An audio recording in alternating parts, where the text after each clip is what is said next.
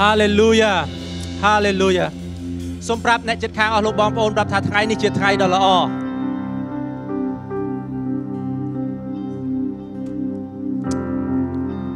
ទោះមិនថាមានរឿងអ្វីកើតឡើងក៏ដោយយើងមិនអនុញ្ញាតឲ្យភាពភ័យខ្លាចនានានៅក្នុងជីវិតរបស់យើងហើយយើងក៏មិនអនុញ្ញាតឲ្យភាពតានតឹងណាមួយផ្សេងផ្សេងដែលព្យាយាមរាំងស្ទះជីវិតរបស់យើង ឬយើងមិនអនុញ្ញាត ឲ្យបញ្ហានានារាំងស្ទះយើងចេញពីការដែលយើងរួមប្រកបនោះឡើយអេមែនពីព្រោះនៅពេលដែលយើងរួមប្រកប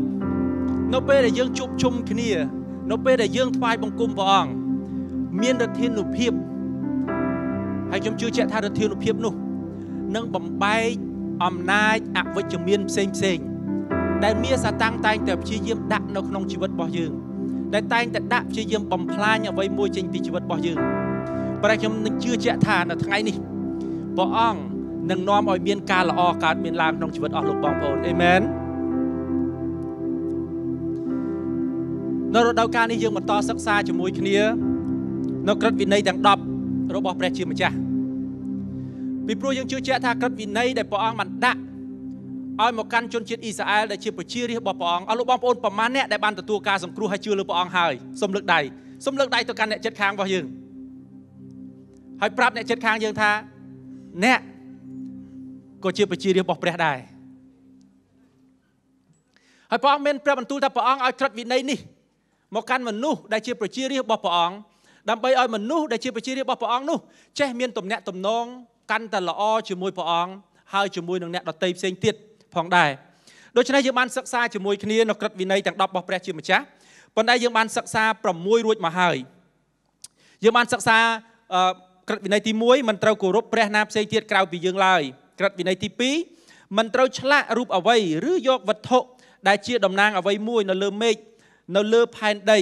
នៅក្នុងទឹកក្រោមដីធ្វើជាព្រះឡើយមិនត្រូវយកព្រះនាមរបស់ព្រះអង្គម្ចាស់ជាព្រះរបស់អ្នកប្រើឥតបានការនោះឡើយជាក្រឹតវិន័យទី3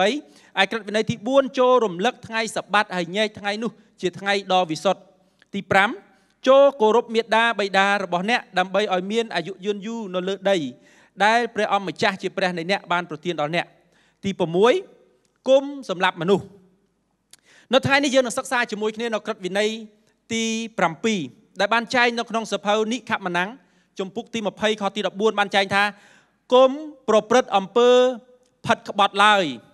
នៅក្នុងអត្ថបទកពីនេះបានប្រាប់ថាកុំអោយប្រជារាស្ត្ររបស់ព្រះអង្គជាប្រជារាស្ត្រដែលព្រះអង្គបានសង្គ្រោះ ជាប្រជារាស្ត្រដែលព្រះអង្គបាននាំចេញពីស្រុកអេស៊ីបជាកន្លែងដែលពួកគេរស់នៅក្នុងនាមជាទាសករចូលទៅកាន់ដែនដីមួយដែលព្រះអង្គបានសន្យាឲ្យពួកគេព្រះអង្គមានព្រះបន្ទូលថាឲ្យនៅទីនោះហើយគុំប្រព្រឹត្តអំពើផិតក្បត់សោះឡើយពីព្រោះច្បាប់នេះបានដាក់នៅឲ្យពួកគេ ពេលដែលពួកគេបានឆ្លងកាត់វាលរហោស្ថាន ដើម្បីត្រៀមរៀបចំជីវិតរបស់ពួកគេ ចូលទៅក្នុងដែនដីសន្យា ជាដែនដីដែលព្រះអង្គនឹងផ្ដល់ពរដល់គេហើយខ្ញុំជឿជាក់ថាច្បាប់មួយនេះនឹងជួយជីវិតរបស់ពួកយើងម្នាក់ម្នាក់តើយើងអាចរៀនអីគេខ្លះបានពីច្បាប់នេះដើម្បីឲ្យយើងអាចទទួលប្រពររបស់ព្រះជាម្ចាស់នៅថ្ងៃខាងមុខជាពេលដែលព្រះអង្គនឹងប្រទានពរដល់យើងនោះផងដែរយើងឃើញថាអំពើផិតក្បត់គឺពាក់ព័ន្ធជាមួយនឹងផ្លូវភេទផ្លូវភេទអ្នកណាអ្នកបង្កើតព្រះជាម្ចាស់ព្រះអង្គជាអ្នកបង្កើតផ្លូវភេទ ប្រែព្រះអង្គបង្កើតផ្លូវភេទសម្រាប់មនុស្សដើម្បីឲ្យមានផលល្អមកដល់ជីវិតរបស់យើងប៉ុន្តែមនុស្សក៏អាចប្រើប្រាស់ផ្លូវភេទនេះតាមរបៀបមួយដែលខុសឆ្គងហើយអាចបំផ្លាញអនាគតរបស់យើងផងដែរអញ្ចឹងបានជាព្រះអង្គមានប្រាប់បន្ទូលថាគុំប្រព្រឹត្តអំពើផិតក្បត់បើយើងមើលនៅក្នុងព្រះគម្ពីរទំនាក់ទំនងផ្លូវភេទនេះកើតឡើងគឺនៅពេលដែលបុរសហើយនិងស្ត្រីរួមរស់ជាមួយគ្នារៀបការជាមួយគ្នាជាប្តីប្រពន្ធ នោះពួកគេចាប់ផ្ដើមមានទំនាក់ទំនងផ្លូវភេទដូច្នេះផ្លូវភេទគឺជាអ្វីមួយដែលព្រះជាម្ចាស់ព្រះអង្គបានបង្កើតមក ដើម្បីផ្ដល់ពរមកដល់មនុស្សជាតិឥឡូវសូមអរលោកបងប្អូនបានមើលជាមួយខ្ញុំនៅក្នុងលោកកបាត់ជំពូកទី2ខទី22ព្រះជាអម្ចាស់យកឆ្អឹងជំនីរបស់សំទោសព្រះជាម្ចាស់យកឆ្អឹងជំនីដែលទ្រង់បានដកចេញពីមនុស្សដកចេញពីមនុស្សប្រុសកន្លែងហ្នឹងយកមកធ្វើជាស្ត្រី រួចទ្រង់នាំនាងមកជួបគាត់បុរសក៏ពោលឡើងថា លើកនេះពិតជាឆ្អឹងដែលកើតចេញពីឆ្អឹងអញជាសាច់ដែលកើតចេញពីសាច់អញត្រូវហៅនាងថាស្ត្រី ព្រោះនាងបានកើតពីបុរសមកហេតុនេះបុរសចាក់ចេញពីឪពុកម្ដាយទៅរួមរស់ជាមួយភរិយារបស់ខ្លួន ហើយអ្នកទាំងពីរត្រឡប់ទៅជារូបកាយតែមួយ ដូច្នេះព្រះអង្គបានបង្កើតភេទប្រុសហើយនិងភេទស្រីព្រះអង្គជាអ្នកដែលបង្កើតមនុស្សដើម្បីឲ្យអ្នកទាំងពីររួមរស់ជាមួយគ្នា ដើម្បីអីនៅក្នុងខទី28ព្រះជាម្ចាស់បានប្រទានពរឲ្យគេគឺព្រះអង្គមានប្រាប់បន្ទូលថាចូលបង្កើតកូនចៅឲ្យបានកើនច្រើនឡើងពីពេញផែនដី ហើយត្រួតត្រាផែនដីទៅចូលមានអំណាចលើត្រីសមុទ្រលើបក្សាបក្សីដែលហើរនៅលើមេឃនិង និងលើសត្វទាំងប៉ុន្មានដែលលូនវានៅលើដីព្រះអង្គបង្កើតមនុស្សប្រុសហើយនិងមនុស្សស្រីឲ្យរួមរស់ជាមួយគ្នា ដើម្បីឲ្យមនុស្សអាចបង្កើតកូនចៅបន្តទៀតព្រះអង្គក៏ប្រហារតីផ្ដល់ពរទៅដល់កូនចៅរបស់មនុស្សដែលកើតនៅចំនួនដំបូងដែលព្រះជាម្ចាស់បានមានព្រះបន្ទូលថាព្រះអង្គបានឲ្យពរទៅកាន់កូនចៅរបស់លោកអាដាមហើយនិងនាងអេវ៉ា ដែលព្រះអង្គបានបង្កើតជាមនុស្សប្រុសមនុស្សស្រីដំបូងមកនោះដើម្បីឲ្យកូនចៅអ្នកទាំងពីរคล้ายទៅជាមនុស្សដែលមានអំណាចគ្រប់គ្រងនៅលើផែនដីដូចអ្នកទាំងពីរដែរអស់លោកបងប្អូនដឹងទេព្រះអង្គក៏ប្រហារតីផ្ដល់ពរទៅដល់អស់លោកបងប្អូនហើយនឹងខ្ញុំដែលជាឪពុកម្ដាយមិនត្រឹមតែប៉ុណ្ណោះព្រះអង្គក៏កប់ប្រហារតីតាមរយៈក្រុមគ្រួសារនេះព្រះអង្គក៏អក ព្រះអង្គក៏កប់តែឲ្យយើងបានមានកូនចៅបន្តហើយឲ្យយើងអាចបង្កើតកូនចៅបន្តដោយនាំនៅគុណតម្លៃដោយនាំនៅប្រពោរបស់ព្រះជាម្ចាស់នាំនៅសិទ្ធិអំណាចដែលព្រះអង្គបានប្រទានមកឲ្យយើងហុចឲ្យទៅដល់ចំនួនបន្ទាប់យើងទៀតដែរដើម្បីឲ្យឲ្យឲ្យចំនួនបន្ទាប់នេះคล้ายទៅជាចំនួនដែលប្រកបទៅដោយប្រពោដែលមកពីព្រះជាម្ចាស់ជាចំនួនដែលរស់នៅជាតំណាងរបស់ព្រះអង្គផ្ទាល់ ព្រះអង្គក៏បហារតីបង្កើតមនុស្សមកឲ្យរួមរស់ជាក្រុមគ្រួសារពេលមនុស្សបង្កើតបានជាក្រុមគ្រួសារហើយមនុស្សក៏បានបង្កើតទៅជាសង្គមដូច្នេះដើម្បីឲ្យសង្គមជាតិមួយរឹងមាំលុះត្រាតែក្រុមគ្រួសាររឹងមាំបើយើងមើលទៅក្នុងព្រះគម្ពីរនឹង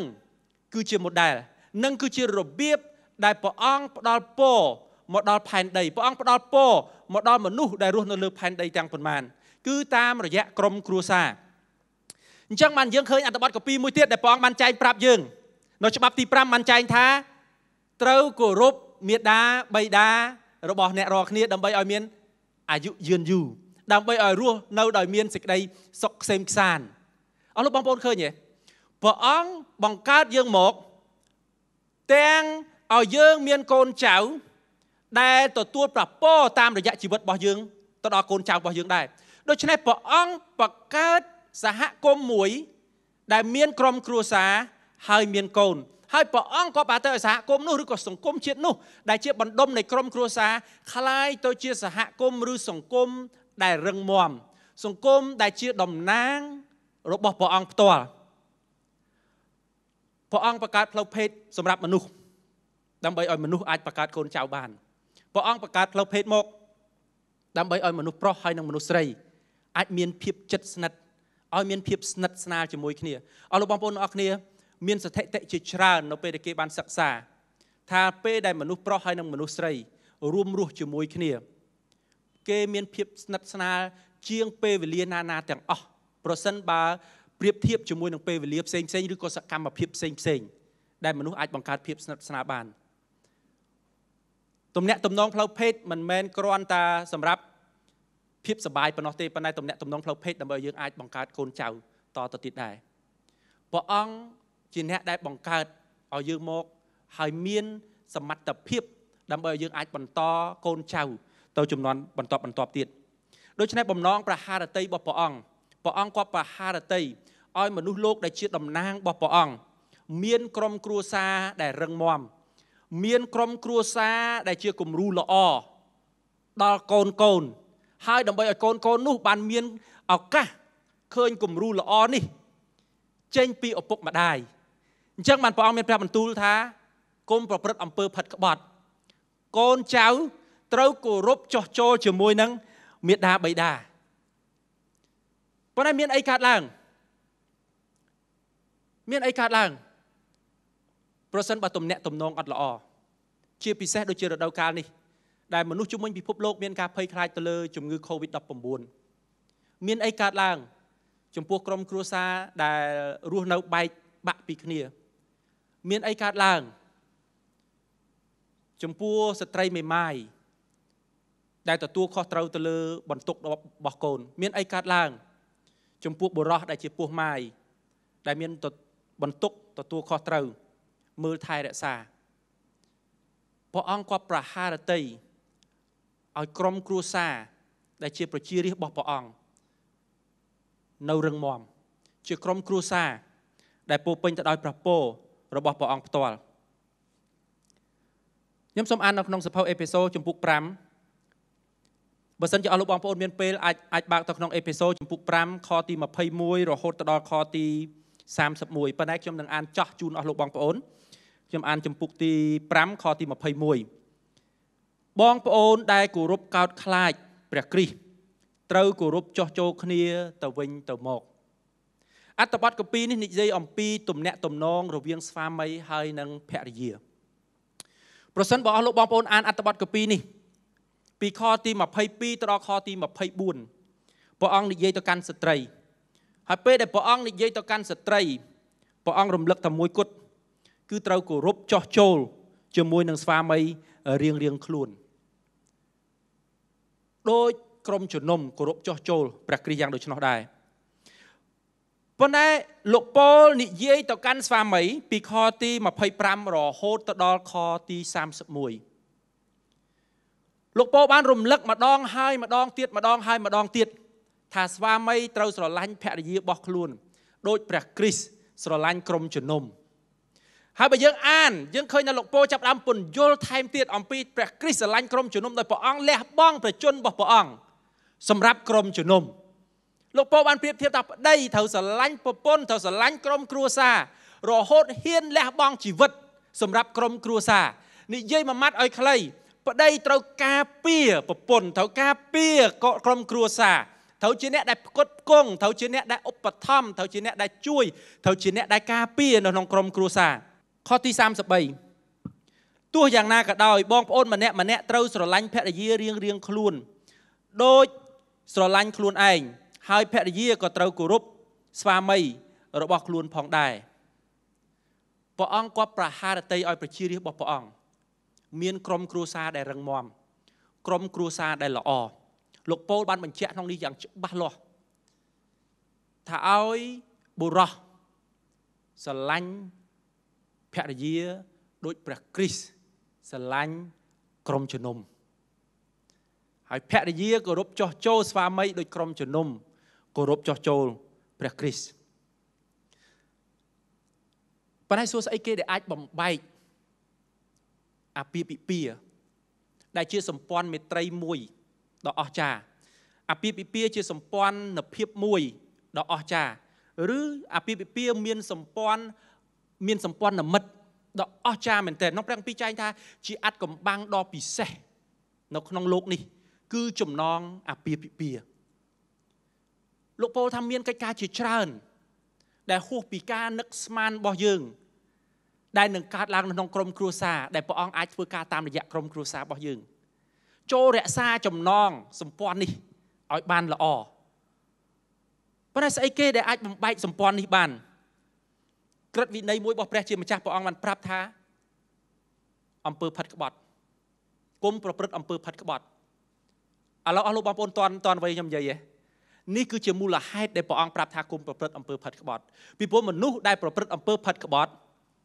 គាត់នឹងបំបែកសម្ព័ន្ធមេត្រីគាត់នឹងបំបែកសម្ព័ន្ធមិត្តឬក៏សម្ព័ន្ធភាពរវាងជាមួយមនុស្សដែលគាត់បានចងសម្ព័ន្ធមេត្រីជាមួយគឺប្រពន្ធគាត់ឬក៏ប្តីរបស់គាត់ អំពើផិតក្បត់នឹងញែកអ្នកទាំងពីរឲ្យរស់នៅដាច់ដោយឡែកពីព្រោះនៅក្នុងសភៅលោកកបាត់ចំពុកទី2ខទី24បានចែងថាហេតុនេះបុរសចាក់ចេញពីឪពុកម្ដាយទៅរួមរស់ជាមួយភរិយារបស់ខ្លួនហើយអ្នកទាំងពីរត្រឡប់ទៅជារូបកាយតែមួយអំពើផិតក្បត់ក៏ដូចគ្នាដែរអំពើផិតក្បត់នឹងញែកបុរសឲ្យចេញពីប្រពន្ធរបស់ខ្លួន ដើម្បីទៅរួមរស់ជាមួយនឹងនារីម្នាក់ដែលគាត់មានមិត្តភាពលួចលាក់ជាមួយអំពើផិតក្បត់អាចធ្វើឲ្យនារីម្នាក់លួចមានទំនាក់ទំនងដោយចាក់ចេញពីប្តីរបស់គាត់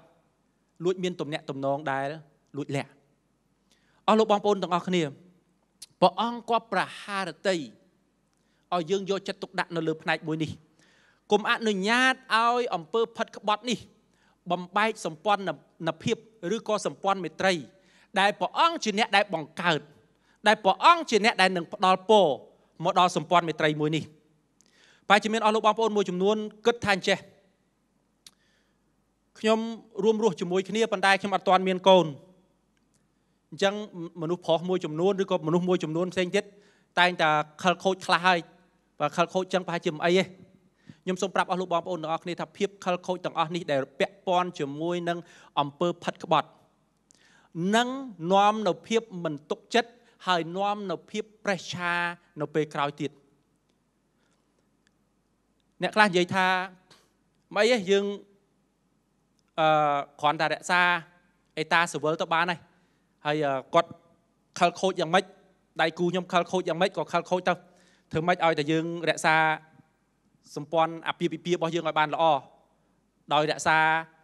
អេតាសវលខ្ញុំសូមប្រាប់អស់លោកបងប្អូនត្រង់ត្រង់អេតាសវលគ្រាន់តែជាกระดาษនៅពេលដែលមនុស្សបានប្រព្រឹត្តអំពើផិតក្បត់ក្នុងព្រះគម្ពីរចែងថាដួងចិត្តរបស់គេបានចាក់ចេញពីទំនាក់ទំនងដួងចិត្តរបស់ពួកគេការគិតរបស់ពួកគេផ្ទាល់បានចាក់ចេញពីទំនាក់ទំនងនៃដៃគូរបស់ពួកគេ ព្រះអង្គក៏ប្រហារតីឲ្យមនុស្សរួមទៅជាមួយរួមទៅคล้ายទៅជាមួយឲ្យអ្នកទាំងពីរបានមានចិត្តគំនិតតែមួយ រួមដួងចិត្តតែមួយ មិនមែនបែកញែកចេញពីគ្នានោះទេនៅក្នុងសភៅកាឡាទីបានចែងថាចេះចំពុកទី6ខទី7សូមបងប្អូនកុំយល់ច្រឡំគ្មាននរណាម្នាក់មើលងាយព្រះជាម្ចាស់បានឡើយ ប្រសិនបើមនុស្សម្នាក់សាបព្រោះពូជណា គេនឹងច្រូតបានផលតាមពូជនោះឯងគុំអនុញ្ញាតឲ្យសេចក្តីកុហកណាមួយលបួងចូលក្នុងជីវិតអស់លោកបងប្អូន ដោយនិយាយថាសង្គមរបស់យើងនៅខាងក្រៅប្រុសប្រុសតែអញ្ចឹងមានទំនាក់ទំនងដៃគូច្រើនក៏អត់អីដែរសូមគុំច្រឡំឲ្យសោះពីព្រោះក្នុងព្រះគម្ពីរបានចែងយ៉ាងច្បាស់ថាអ្នកណាសាបព្រោះអី អ្នកនោះនឹងទទួលផលនឹងត្រឡប់មកវិញអ្នកណាសាបព្រោះប្រព្រឹត្តអំពើផិតក្បត់នឹងទទួលលទ្ធផលនៃអំពើផិតក្បត់មកកាន់ក្រុមគ្រួសារសូមកុំអនុញ្ញាតឲ្យការកុហកនេះ មានដិតនៅក្នុងដួងចិត្តរបស់យើងម្នាក់ម្នាក់ប៉ុន្តែផ្ទុយទៅវិញឲ្យយើងគោរពប្រណិប័តតាមក្រឹតវិន័យរបស់ព្រះអង្គគុំប្រព្រឹត្តអំពើផិតក្បត់ ចូលស្រឡាញ់ភរិយារបស់ខ្លួន ចូលគោរពចោះចូលជាមួយនឹងស្វាមីរបស់ខ្លួនផងដែរមានលោកគ្រូកងវាលម្នាក់គាត់បានឲ្យនិយមន័យមួយថាអំពើផិតក្បត់មានន័យថាម៉េចលោកគ្រូគាត់បានឲ្យនិយមន័យថាចេះគាត់ថាអំពើផិតក្បត់មានន័យថាយកអ្វីអ្វីដែលជាកម្មសិទ្ធិរបស់ដៃគូយើងប្រពន្ធយើងឬក៏ប្តីយើងឲ្យទៅអ្នកដតីទៀតហើយយកអ្វីដែលជាកម្មសិទ្ធិរបស់យើងសំទោសយកអ្វីដែលជាកម្មសិទ្ធិរបស់ដៃគូរបស់យើង យកឲ្យអ្នកដតីនោះមិនមែនមានន័យថាគ្រាន់តែប្រព្រឹត្តអំពើផិតក្បត់តតែតែយើងធ្លាក់ចូលទៅក្នុងការរួមដំណេកជាមួយគ្នាបានហៅថាប្រព្រឹត្តអំពើផិតក្បត់អីមិនមែនទេស្អីគេខ្លះដែលជាកម្មសិទ្ធិរបស់ដៃគូយើងរបស់ប្រពន្ធយើងឬរបស់ប្តីយើង ការយកចិត្តទុកដាក់ក៏ជាកម្មសិទ្ធិរបស់ប្តីយើងឬប្រពន្ធយើងដែរឧទាហរណ៍ថាការមួយដែលយើងត្រូវយកចិត្តទុកដាក់ជាមួយប្រពន្ធយើងត្រូវចំណាយពេលជាមួយប្រពន្ធយើងត្រូវផ្អែមល្ហែមជាមួយប្រពន្ធ ឬក៏ប្តីរបស់យើងប៉ុន្តែយើងយកភាពផ្អែមល្ហែមនោះឬក៏ភាពចិត្តស្និទ្ធនោះយកឲ្យអ្នកដតីផ្សេងទៀតទោះបីយើងអត់ទាន់បានកេងជាមួយគាត់នៅឡើយក៏ដោយទោះបីយើងអត់ទាន់បានជ្រុលជ្រោះរហូតដល់ថ្នាក់យើងហៅថាទំនាក់ទំនងស៊ីជម្រៅក៏ដោយប៉ុន្តែគ្រាន់តែតាមរយៈការដែលយើងចាប់ផ្ដើមយកការយកចិត្តទុកដាក់យកភាពផ្អែមល្ហែមភាសាអង់គ្លេសហៅថា care care ចំពោះអ្នកដតីជាងប្រពន្ធខ្លួនឯង care ចំពោះអ្នកដតីខ្លាំងជាងប្តីខ្លួនឯងលោកគ្រូគង្វាលម្នាក់នេះចាត់ទុកថានេះគឺជាប្រព្រឹត្តអំពើនេះគឺជាការដែលប្រព្រឹត្តអំពើផិតក្បត់រួចទៅហើយពីព្រោះវាជាទីចាប់ផ្ដើមនៃការដែលធ្លាក់ចូលទៅក្នុងទំនាក់ទំនងផ្សេងមួយទៀតដែលស៊ីជម្រៅជាងនេះតើអំពើផិតក្បត់នេះអាចចាប់ផ្ដើមដោយរបៀបណាយើងដឹងថាអំពើផិតក្បត់ចាប់ផ្ដើមឡើងដោយដោយសារមនុស្សរួមដំណេកជាមួយគ្នា ប៉ុន្តែមុនពេលមនុស្សចាប់ផ្ដើមរួមដំណេកជាមួយគ្នាឬប្រព្រឹត្តអំពើផិតក្បត់នេះមនុស្សកើតចេញនៅភាពឬក៏នៅចិត្តស្រើបស្រាលចំពោះគ្នាសិនបានអាចឈានដល់ដំណាក់កាលនៃការប្រព្រឹត្តអំពើផិតក្បត់ប៉ុន្តែស្អីគេដែលជាទីចាប់ផ្ដើមឬក៏ដើមចមដែលបណ្ដាលឲ្យមានចិត្តស្រើបស្រាលក្នុងព្រះគម្ពីរបានចែងថាការសម្លឹងមើលការសម្លឹងមើលខ្ញុំអានអត្ថបទកាពីមួយចំនួនជូនអស់លោកបងប្អូន នៅក្នុងសភៅលោកកបាត់ចំពុកទី39ខទី7ប្រពន្ធរបស់លោកបូឌីផាប្រពន្ធរបស់លោកបូឌីផានៅក្នុងព្រះគម្ពីរបានចែងថាគាត់បានចាប់ចិត្តជាមួយនឹងអ្នកបម្រើគាត់ម្នាក់ដែលឆ្លាតហើយមានប្រាជ្ញាដែលមកពីព្រះជាម្ចាស់គឺលោកយូសែបប្រពន្ធរបស់លោកបូឌីផាចាប់ចិត្តជាមួយនឹងលោកយូសែបរហូតទៅដល់បបួលលោកយូសែបដែលជាអ្នកបម្រើឲ្យគេងជាមួយខ្ញុំជឿជាក់ថាប្រពន្ធរបស់លោកបូឌីផា គាត់មិនមែនគ្រាន់តែឃើញមួយផ្លេតហើយលងចិត្តទេមួយផ្លេតហើយស្រឡាញ់ទេគាត់ប្រកាសជាបានសម្លក់សម្លឹងមើលយូរហើយរហូតដល់ធ្វើឲ្យគាត់ចាប់ចិត្តព្រះបាទដាវីតនៅក្នុង2សាមយូអែលចំពុក11ខទី10ខទី2បានចែងថាមានពេលមួយដែលស្ដេចអត់ចេញទៅច្បាំងហើយស្ដេចនៅកាឡាបតុមក្រោយមកទៀតក្រោងឡើងហើយយាងទៅតាមថែវហើយក៏បានមើលពីដំណាក់របស់ស្ដេច ស្ដេចតតឃើញស្ត្រីម្នាក់កំពុងងូតទឹកស្ត្រីនោះមានរូបឆោមល្អណាស់ខ្ញុំសួរមួយធ្វើម៉េចបានដឹងថាគេមានរូបឆោមល្អដឹងថាគេរូបឆោមល្អលួសត្រាតែសម្លឹងមើលឲ្យបានយូរលួសត្រាតែមានការកយគុណបានយូរលួសត្រាតែមានការសម្លក់សម្លឹងបានបានយូរបានឃើញគេរូបឆោមល្អដូច្នេះ ជំហានទី1គឺការសម្លឹងមើលនៅក្នុងសភៅបទចម្រៀងចំពុកទី3ខទី5បានចែងថាចេះស្រីក្រមុំនៅក្រុងយេរូសាឡឹមអើយខ្ញុំសូមប្រាប់ពួកនាងដោយយកសัตว์ក្តាន់និងសัตว์ប្រើសមកធ្វើជាសាក្សីថាអានេះមិនមែនយកចាបធ្វើជាសាក្សីទេយកក្តាន់ឲ្យប្រើសមុននឹងម្ចាស់ចិត្តរបស់ខ្ញុំយល់ស្របគុំដាស់សេចក្តីស្រឡាញ់ឡើយក្នុងអត្ថបទកពីនេះបានសម្ដៅទៅលើមនុស្សមួយចំនួនដែលអត់ទាន់មានម្ចាស់ចិត្តនៅឡើយ ប៉ុន្តែគាត់និយាយថាស្ត្រីក្រមុំអើយអ្នកនៅលីវអើយខ្ញុំហ៊ានយកសัตว์សឹងយកសัตว์ក្តាន់យកមកធ្វើជាសាក់សីយកធម្មជាតិយកមកធ្វើជាសាក់សីគុំដាស់អារម្មណ៍នៃសេចក្តីស្រឡាញ់ឲ្យសោះគុំធ្វើឲ្យខ្ញុំពុះកញ្ជ្រោលឲ្យសោះតែហ៊ានធ្វើឲ្យខ្ញុំពុះកញ្ជ្រោលអត្តបទកពីនេះគឺចង់និយាយថាខ្ញុំនឹងធ្លាក់ជាពុំខានដូច្នេះសូម្បីតែយើងអ្នកនៅលីវក៏ដោយគុំដាស់អារម្មណ៍នៃភាពពុះកញ្ជ្រោល ដែលប្រកបដោយចិត្តស្រើបស្រាល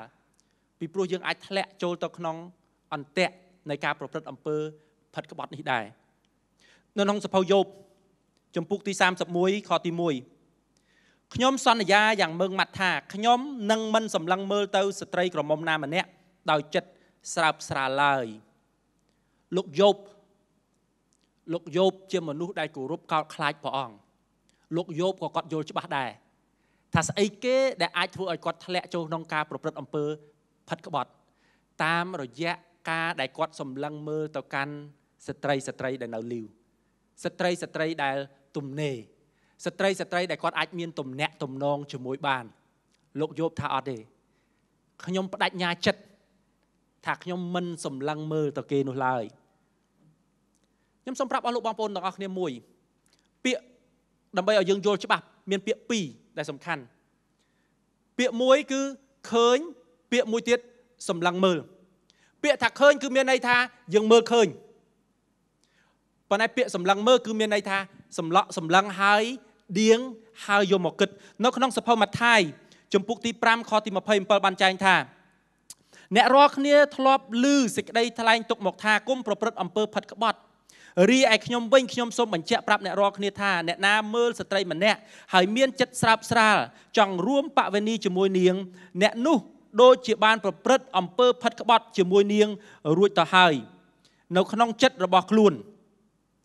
ក្នុងអត្ថបទកពីនេះព្រះអង្គបានប្រាប់យ៉ាងច្បាស់លាស់ថាគ្រាន់តែមើលហើយការគិត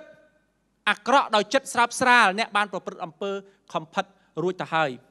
ដូច្នេះយើងត្រូវប្រយ័ត្នជាមួយនឹងការគិត របស់យើងការសម្លក់សម្លឹងរបស់យើងការដៀងដងរបស់យើងឬមួយក៏កាយវិការមួយចំនួន ដែលជាទីចាប់ផ្ដើមនៃការដាស់នៃសេចក្តីចិត្តស្រើបស្រាលភាពញ៉ែញងអ្វីក៏ដោយដែលដែលយើងត្រូវផ្ដល់ទៅឲ្យប្រពន្ធរបស់យើងឬប្តីរបស់យើងកុំយកកិច្ចការនោះរបស់នោះវត្ថុទាំងអស់នោះប្រកាសទាំងអស់នោះឲ្យទៅអ្នកផ្សេងពីព្រោះនេះអាចคล้ายជាទីចាប់ដើមនៃការប្រព្រឹត្តអំពើ ផិតក្បត់លទ្ធផលអីគេខ្លះនៅពេលដែលមនុស្សម្នាក់ធ្លាក់ចូលក្នុងអំពើផិតក្បត់ហើយអំពើផិតក្បត់នេះមិនមែនសំដៅទៅលើតែបុរសហើយនិងនារីម្នាក់ដែលរៀបការជាមួយគ្នាទេហើយគាត់ទៅមានដៃគូនៅខាងក្រៅមិនមែនទេគឺសំដៅទៅលើអំពើផិតក្បត់ គឺសំដៅទៅលើការដែលមនុស្សមានទំនាក់ទំនងខាងក្រៅសម្ព័ន្ធអាពាហ៍ពិពាហ៍ឬគាត់អត់ទាន់មានអាពាហ៍ពិពាហ៍ហើយគាត់មានទំនាក់ទំនង ផ្លូវភេទជាមួយគ្នាក៏រាប់ថាជាអំពើផិតក្បត់ដែរពីព្រោះទំនាក់ទំនងផ្លូវភេទព្រះជាម្ចាស់បង្កើតមកគឺសម្រាប់មនុស្សដែលរៀបការរួមរស់ជាមួយគ្នាបង្កើតក្រុមគ្រួសារជាមួយគ្នាហើយក្នុងព្រះគម្ពីរបានចែងថាអ្នកទាំងពីរនឹងរួមទៅជាមួយអាចមានឧបសគ្គអីខ្លះឬក៏មានផលវិបាកអីគេខ្លះនៅពេលដែលមនុស្សប្រព្រឹត្តអំពើផិតក្បត់នៅក្នុងសភៅសុភាសិតចំពុកទី5ខទី1បានចែងថាចេះ កូនអើយចូលយកចិត្តទុកដាក់និងប្រាជ្ញារបស់ឪពុកហើយចាប់អារម្មណ៍និងតម្រេះរបស់ឪពុកដែរដើម្បីឲ្យកូនស្គាល់ការរិះគិតនិងការនិយាយស្ដីដឹងខុសត្រូវធម្មតាស្ត្រីក្បត់ប្តីតែងនិយាយផ្អែមល្ហែមដូចទឹកខ្មុំ ហើយមាត់រអិលដូចប្រេង តែតាមពិតស្ត្រីនោះប្រៀបបាននឹងផ្លែស្លែងដែលនឹងដែលមានជាតិល្វីង និងមុតដូចដាវមុខពីរស្ត្រីប្រភេទនេះបណ្ដាលឲ្យអ្នកត្រូវស្លាប់ត្បិតផ្លូវដែលគេតម្រង់ទៅរកស្ថានមច្ចរាជផ្លូវរបស់ស្ត្រីនោះមិនទៅកាន់ជីវិតទេ តែនាំឲ្យគេវង្វេង ដោយមិនដឹងខ្លួនឥឡូវនេះ កូនអើយចូលស្ដាប់ឪពុកគុំងាកចេញពីអាវ៉ាតរបស់ឪពុកឡើយចូលដើរវៀងឲ្យឆ្ងាយពីស្ត្រីប្រភេទនេះ គុំទៅចិត្តមាត់ទ្វារផ្ទះរបស់គេឲ្យសោះក្រែងលោអ្នកផងទាំងពួងប្រមាថមាក់ងាយគេឈ្មោះកូន ហើយមនុស្សគ្មានចិត្តមេត្តាបំផ្លាញជីវិតកូន ក្រែងលោអ្នកដតីរឹបអូសយកទ្រព្យសម្បត្តិរបស់កូន ហើយអ្វីៗដែលកូនរកបានដោយកម្លាំងញើសត្រូវធ្លាក់ក្នុងកណ្ដាប់ដៃរបស់អ្នកផ្សេងក្នុងអត្ថបទកាពីនេះបានហាមបានព្រមាន ថាទាំងគេឈ្មោះឲ្យទ្រព្យសម្បត្តិរបស់យើង អាចនឹងបាត់បង់ នៅក្នុងយ៉ូហានចំពុកទី8ខទី34ព្រះយេស៊ូវមានព្រះបន្ទូលថាខ្ញុំសូមប្រាប់អ្នករាល់គ្នាឲ្យដឹងច្បាស់ថាអ្នកណាប្រព្រឹត្តអំពើបាបអ្នកនោះជាខ្ញុំបំរើរបស់បាបប្រសិនបើយើងប្រព្រឹត្តអំពើបាបនៃអំពើកំផិតយើងក៏អាចធ្លាក់คล้ายទៅជាទាសកឬខ្ញុំបំរើជាប់ជាមួយនឹងអំពើបាបប្រភេទនេះដែរ1ក្រេនថូសចំពុកទី6ខទី18 ចូលកិច្ចឲ្យផុតពីអំពើប្រះចាកសិលធម៌អំពើបាបឯទៀតឯទៀតដែលមនុស្សប្រព្រឹត្តជាអំពើបាបមិនធ្វើឲ្យរូបកាយសៅមងទេប៉ុន្តែអ្នកណាប្រព្រឹត្តអំពើប្រះចាកសិលធម៌អ្នកនោះប្រព្រឹត្តអំពើបាប ដែលនាំឲ្យសៅមងដល់រូបកាយរបស់ខ្លួនអំពើកំផិតអាចនាំនៅភាពសៅមងនាំនៅភាពឈឺចាប់នាំនៅទុក្ខសោក មកកាន់រូបកាយអស់លោកបងប្អូនហើយនឹងខ្ញុំដែរតើមានផលវិបាកអីទៀតនៅក្នុងសភៅសុភាសិតចំពុកទី6ខទី32អ្នកណាលួចប្រពន្ធគេអ្នកនោះជាមនុស្សមិនចេះពិចារណាបិទប្រព្រឹត្តយ៉ាងនេះនាំឲ្យតែវិនិច្ឆ័យខ្លួនឯងអ្នកនោះនឹងទទួលទោសបាត់បង់កិត្តិយសហើយត្រូវខ្មាស់គេរហូតត្បិតប្តីគេនឹងប្រច័ណ្ឌហើយនៅថ្ងៃណាមួយ គេនឹងសងសឹក ឥតត្រាប្រណីឡើយអំពើបាបមួយនេះក៏អាចនាំឲ្យយើងបាត់បង់កិត្តិយសហើយនាំដល់ទុកលំបាកផ្សេងផ្សេងយោងតាមលទ្ធផលនៃការប្រព្រឹត្តទៅតាមស្រុកទេសទៅតាមច្បាប់នៃប្រទេសនីមួយនីមួយអំពើបាបនេះក្នុងព្រះគម្ពីរបានចែងថារូបកាយយើងគឺជាព្រះដំណាក់នៃព្រះវិញ្ញាណដ៏វិសុទ្ធយើងមិនអាចប្រើប្រាស់រូបកាយរបស់យើង ទៅតាមអារម្មណ៍របស់យើង ទៅតាមការយល់ឃើញរបស់យើងក្នុងព្រះគម្ពីរបានចែងថាប្រសិនបើយើងប្រើប្រាស់រូបកាយរបស់យើងយ៉ាងដូចនេះទៅប្រព្រឹត្តអំពើប្រឆាចសិលធម៌យើងក៏បានរួមរួមកាយរបស់យើងជាមួយបុគ្គលផ្សេងខណៈពេលដែលរូបកាយរបស់យើងគឺជាដំណាក់នៃព្រះវិញ្ញាណដ៏វិសុទ្ធអំពើបាបមួយនេះនឹងរាំងស្ទះព្រះពរមកដល់ជីវិតយើងផ្ទាល់ ជីវិតក្រុមគ្រួសាររបស់យើង ហើយនឹងកូនចៅរបស់យើង ដែលជាចំនួនបន្ទាប់ដែលព្រះអង្គគាត់ប្រហារតីប្រទានពរដល់ពួកគេអំពើបាបមួយនេះធ្វើឲ្យក្រុមគ្រួសារបាក់បែកអំពើបាបមួយនេះធ្វើឲ្យទំនាក់ទំនងឃ្លាតឆ្ងាយពីគ្នាអំពើបាបប្រភេទនេះ បន្សល់ទុកនៅស្លាកស្នាមនៃការឈឺចាប់ទៅដល់កូនកូនចំនួនក្រោយរបស់យើងដែរសំណួរសួរថាអញ្ចឹងយើងត្រូវធ្វើម៉េច 1ក្រិនថូសចំពុកទី5ខទី1ដល់5ដែលស្ដីអំពីបញ្ហាគូសកលហើយខ្ញុំសូមនិយាយទៅកាន់អស់លោកបងប្អូនដែល single ប្រហែលអ្នក single សូមលើកដៃអស់លោកបងប្អូនប្រហែលអ្នកដែលរៀបការហើយសូមលើកដៃឥឡូវខ្ញុំសូមនិយាយទៅកាន់អ្នក single មុនអ្នក single ត្រៀមចិត្តហើយត្រៀមពាក្យនិយាយថា amen បងប្អូនបានសរសេរសម្ពុត ទៅខ្ញុំថាប្រសិនបើបុរសមិនប៉ះពាល់ស្ត្រីទេនោះ ជាការប្រសើរប៉ុន្តែ ដើម្បីជៀសវាងកុំឲ្យមានការប្រះប្រះចាកសិលធម៌បុរសម្នាក់ម្នាក់ត្រូវមានប្រពន្ធហើយស្ត្រីម្នាក់ម្នាក់ក៏ត្រូវមានប្តីដែរសូមនិយាយថាអេមែនហាឡេលូយ៉ា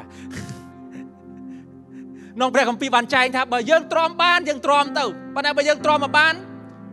ដោយសារភាពនៅលីវរបស់យើងគុំប្រព្រឹត្តអំពើប្រឆាចសិលធម៌ រៀបការទៅនិយាយម៉ាត់ឲ្យខ្លីអស់លោកបងប្អូនមួយចំនួនថារៀបការខ្ញុំពិបាករកគូណាលោកគ្រូរកអត់ទាន់ត្រូវចិត្ត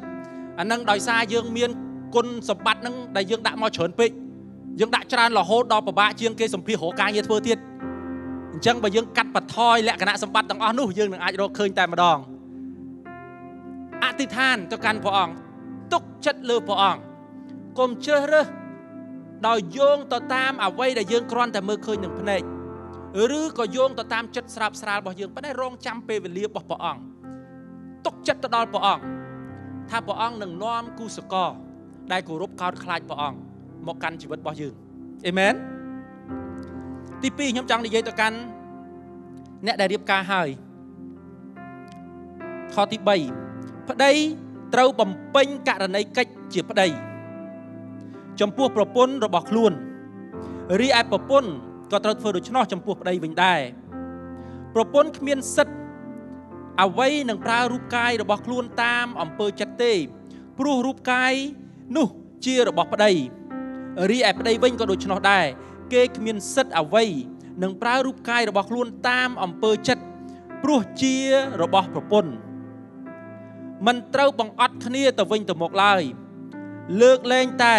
មានការព្រមព្រៀងគ្នា ដើម្បីទុកពេលមួយរយៈ សម្រាប់អធិដ្ឋានប៉ុណ្ណោះរួចហើយចូលរួមរស់ជាមួយគ្នាដូចធម្មតាវិញទៅ ក្រែងលោមាសាតាំងលបួងចិត្តបងប្អូន មកពីទ្រាំមិនបានអស់លោកបងប្អូនទាំងអស់គ្នាដែលរៀបការហើយ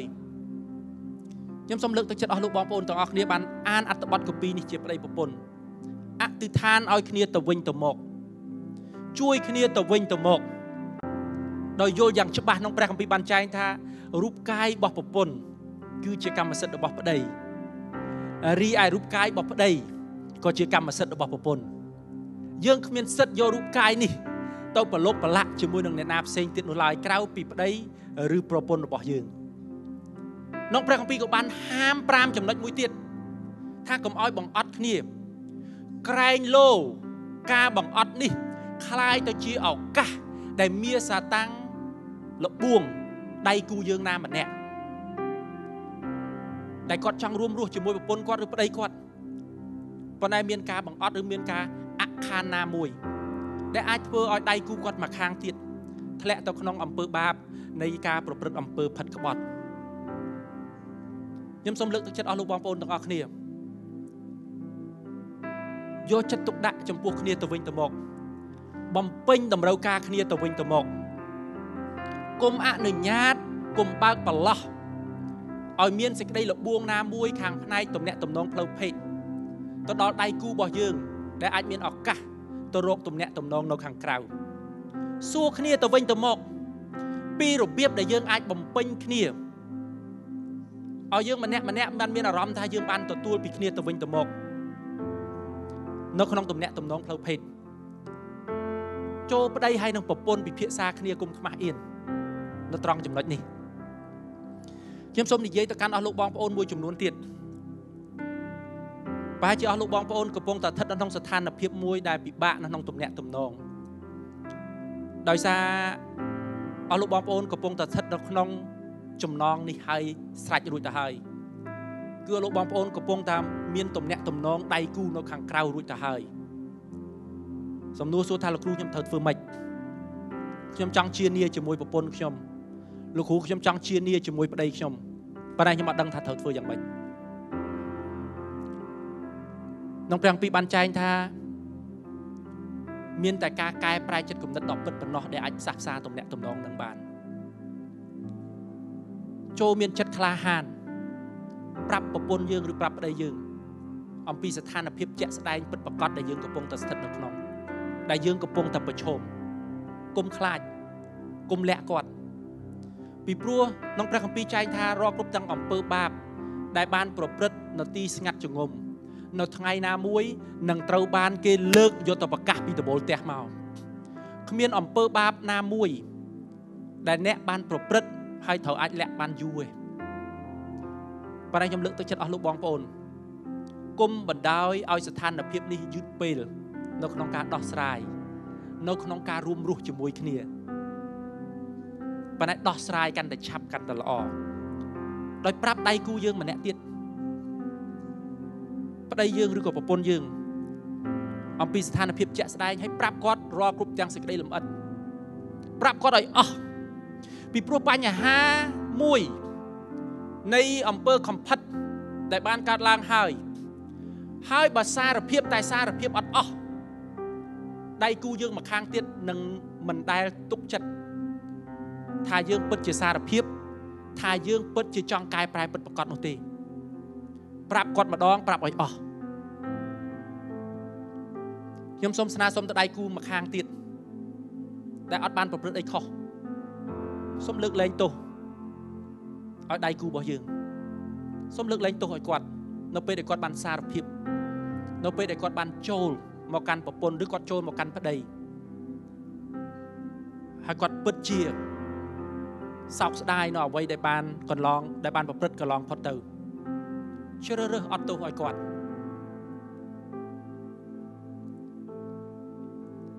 សម្រាប់អស់លោកបងប្អូនដែលបានប្រព្រឹត្តខុសនឹងផ្នែកនេះអស់លោកបងប្អូនត្រូវមានកតបកិច្ចមួយ គឺការដែលយើងរកនរណាម្នាក់ផ្សេងទៀតរួមទាំងភរិយាឬក៏ស្វាមីរបស់យើង ប្រាប់គាត់ ហើយឲ្យគាត់ខ្លាចជាមនុស្សដែលយើងអាចមានភាពឆ្លោះប្រចាំងដែលយើងជាមនុស្សដែលអាចមានលក្ខណៈមួយបើអាចបង្ហាញនូវភាពស្មោះសរនៅក្នុងជំរឿដួងចិត្តរបស់យើងទៅកាន់គាត់មនុស្សភាកច្រើននិយាយថាចេះអូខ្ញុំប្រព្រឹត្តខុសខ្ញុំខុសហើយឥឡូវខ្ញុំខុសហើយខ្ញុំសុំទោសហើយអត់ទោសខ្ញុំខ្ញុំសូមជម្រាបអស់លោកបងប្អូនតាមត្រង់នៅពេលដែលយើងប្រព្រឹត្តខុសនៅក្នុងផ្នែកនេះហើយ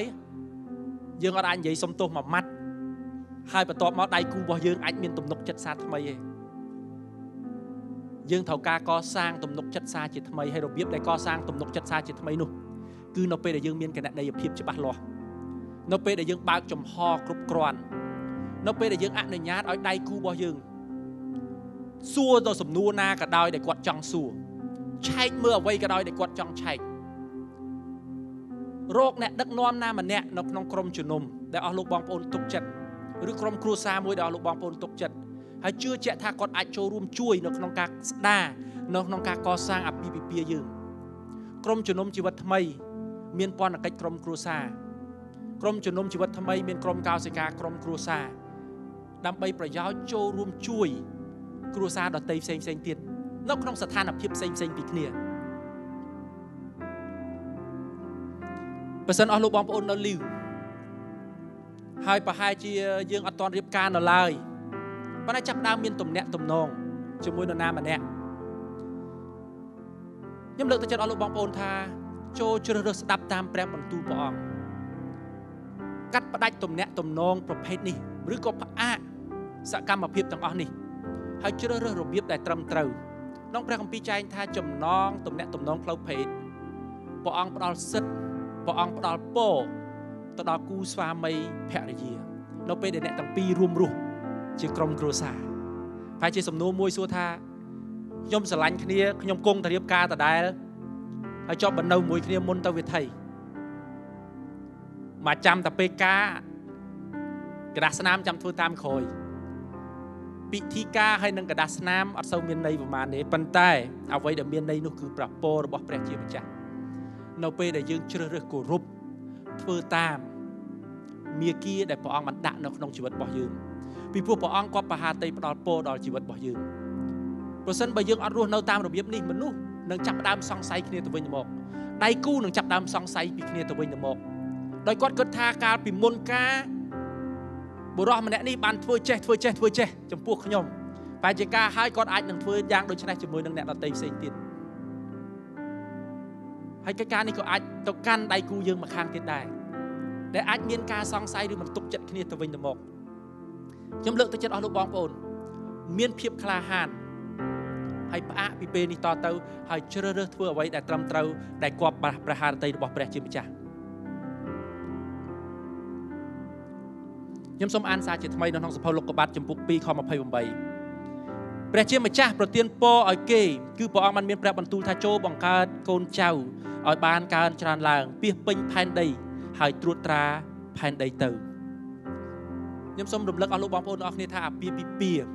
គឺជាសម្ព័ន្ធមេត្រីមួយដែលព្រះជាម្ចាស់គាត់ប្រហារតីជាសម្ព័ន្ធមេត្រីមួយដែលព្រះអង្គជាអ្នកដែលបង្កើតឡើង ជាសម្ព័ន្ធមេត្រីមួយដែលព្រះអង្គត្រៀមដើម្បីនឹងផ្ដល់ពរដូច្នេះចូលទទួលយកព្រះពរពីព្រះជាម្ចាស់ ព្រះពរនៃភាពចិត្តស្និទ្ធនៅក្នុងក្រុមគ្រួសារច្បាប់ដែលយើងសិក្សាជាមួយគ្នានៅច្បាប់ទី7នេះគឺគុំប្រព្រឹត្តអំពើផិតក្បត់ខ្ញុំជឿជាក់ថាគោលការណ៍មួយនេះព្រះអង្គចង់បញ្ជាក់ប្រាប់ថា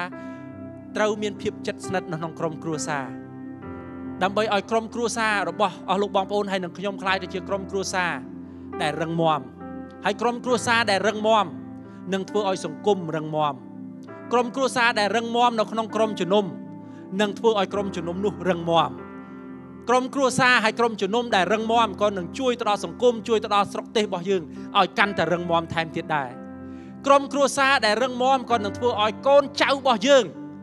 មានគំរូល្អដើម្បីមើលមកកាន់គំរូរបស់យើង ពីរបៀបមានក្រុមគ្រួសារដែលមានសុខភាពល្អជាក្រុមគ្រួសារដែលមានភាពជិតស្និទ្ធ ជាក្រុមគ្រួសារដែលមានភាពស្អិតល្មួតបើសិនអស់លោកបងប្អូនដែលរៀបការហើយនៅពេលនេះសូមចាប់ដៃគ្នាខ្ញុំចង់អធិដ្ឋានជូនទៅកាន់អស់លោកបងប្អូនបើអស់លោកបងប្អូនដែលអត់ទាន់រៀបការមានកម្រងនឹងរៀបការកុំទាន់អាលចាប់ដៃគ្នាបើសិនជាគាត់ចាប់ដៃវាយដៃគាត់ងាកចេញវិញប្រាប់ថាលោកគ្រូថាមិនទាន់អាលចាប់ខ្ញុំចង់អធិដ្ឋានដល់អស់លោកបងប្អូននៅពេលនេះបិតានៃទូបង្គំព្រះម្ចាស់ឲ្យគុណសូមអរប្រគុណទ្រង់ព្រះម្ចាស់ សម្រាប់ក្រុមគ្រួសាររបស់ប្រជារាស្ត្រដ៏វិសុទ្ធរបស់ព្រះអង្គព្រះម្ចាស់មិនថានៅក្នុងក្រុមជំនុំជីវិតថ្មីឬនៅក្រុមជំនុំណាផ្សេងទៀតក៏ដោយព្រះម្ចាស់ពីព្រោះយើងគឺជាបងប្អូនរួមជំនឿនៅក្នុងព្រះអង្គទាំងអស់គ្នាព្រះម្ចាស់ហើយព្រះលោហិតរបស់ព្រះអង្គបានសង្គ្រោះយើងម្នាក់ម្នាក់ដូចគ្នាព្រះអង្គឲ្យសូមប្រទានពរដល់ទំនាក់ទំនងអាពាហ៍ពិពាហ៍របស់យើងនៅក្នុងក្រុមជំនុំរបស់យើងនៅក្នុងក្រុមគ្រួសាររបស់យើងឲ្យមានអាពាហ៍ពិពាហ៍ដែលរឹងមាំ ជាអាពាហ៍ពិពាហ៍ដែលប្រកបទៅដោយព្រះពរដែលមកពីព្រះអង្គជាអាពាហ៍ពិពាហ៍ដែលនឹងផ្ដល់ពរទៅដល់ចំនួនបន្ទាប់បន្ទាប់ជាអាពាហ៍ពិពាហ៍ដែលជាគំរូទៅដល់កូនចៅរបស់យើងនៅចំនួនបន្ទាប់ជាអាពាហ៍ពិពាហ៍ដែលជាគំរូទៅដល់ក្រុមយុវជននៅក្នុងក្រុមជំនុំយើង ជាអាពាហ៍ពិពាហ៍ដែលគំរូដែលមានភាពស្និទ្ធស្នាលដែលមានភាពផ្អែមល្ហែមទៅដល់យុវជនទៅដល់យុវតី ទៅដល់គូអាពាហ៍ពិពាហ៍ផ្សេងទៀតនៅក្នុងសង្គមរបស់យើងព្រះម្ចាស់នៅក្នុងស្រុកភូមិរបស់យើងព្រះម្ចាស់ហើយឲ្យអាពាហ៍ពិពាហ៍របស់យើងខ្លាយជាអាពាហ៍ពិពាហ៍អាពាហ៍ពិពាហ៍ដែលថ្វាយសេរីល្អទៅដល់ព្រះអង្គព្រះម្ចាស់បិតានៃទូបង្គំកូនក៏អធិដ្ឋានព្រះម្ចាស់ហើយសម្រាប់បងប្អូនរបស់ទូបង្គំព្រះម្ចាស់ដែលកំពុងតែជួបទុក្ខលំបាកនៅក្នុងស្ថានភាពនេះបែរជាស្ថិតនៅក្នុងស្ថានភាពនៃការមានទំនាក់ទំនងរួចទៅហើយ បិតានៃទូបង្គំព្រះសូមប្រទានប្រាជ្ញាទៅដល់អ្នកទាំងនោះព្រះម្ចាស់ទាំងសងខាងព្រះម្ចាស់ហើយឲ្យម្នាក់ដែលប្រព្រឹត្តបានមានចិត្តក្លាហាននិងសារភាពនិងមានបំណងចិត្តនៅក្នុងការកែប្រែដ៏ពិតប្រាកដជួយឲ្យអ្នកដែលរងគ្រោះ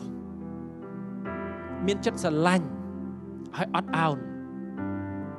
ហើយបេដានៃទូបង្គំផងហើយសូមផ្ដល់ឲ្យមានអ្នកដតីផ្សេងទៀតដែលមានប្រាជ្ញាដែលមកពីព្រះអង្គ ដើម្បីជួយអភិពិពាអ្នកទាំងពីរនេះ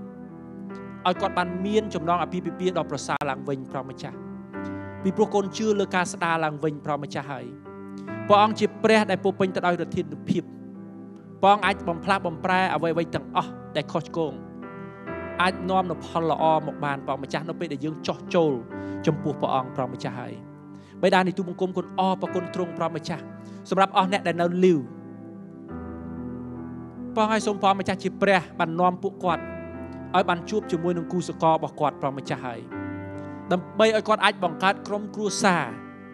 ដែលប្រកបដោយព្រះពររបស់ព្រះអង្គដែរព្រះម្ចាស់ឲ្យគាត់បានមានក្រុមគ្រួសារដូចគាត់បានស្រមៃចង់បានព្រះម្ចាស់ហើយបិតានៃទូបង្គំគុណអធិដ្ឋានព្រះម្ចាស់ឲ្យសម្រាប់កូនតូចតូចព្រះម្ចាស់ហើយក្មេងៗនឹងវ័យជំទង់ព្រះម្ចាស់យុវវ័យព្រះម្ចាស់ហើយកូនអធិដ្ឋានឲ្យពួកគេបានមើលគំរូ